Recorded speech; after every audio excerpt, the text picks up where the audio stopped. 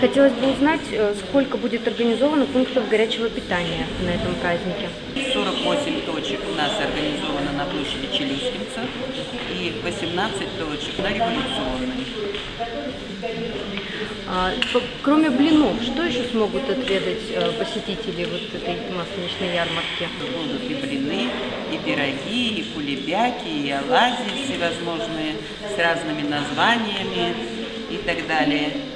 Курники, рыбники, растягаи, ватрушки.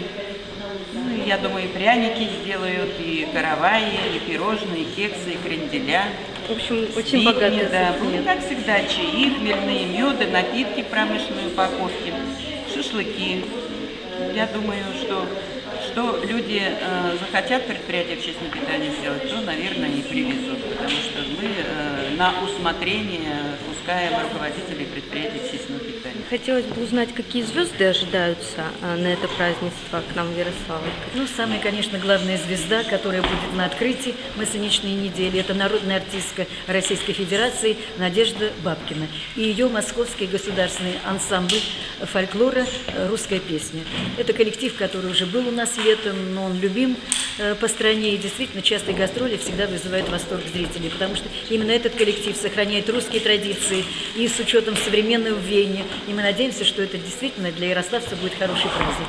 Помимо этого будут также творческие коллективы принимать участие у нас 26 э, февраля, тоже на Советской площади. Это известная группа «Дюна», Мамульки Бенд нашей Ярославской, Московский детский ансамбль «Непоседы», заслуженный артист России Николай Бандурин, тоже известный э, человек.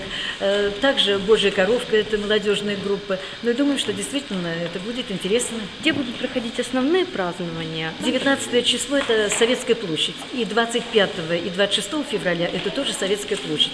25 будут выступать наши творческие коллективы, интерактивные программы будут. Э, В городском парке культуры и отдыха очень интересная программа тоже 25 и 26.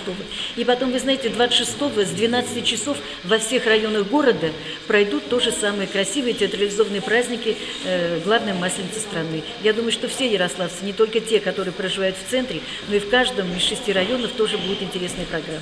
Приходите на этот праздник. Мгм. Спасибо большое.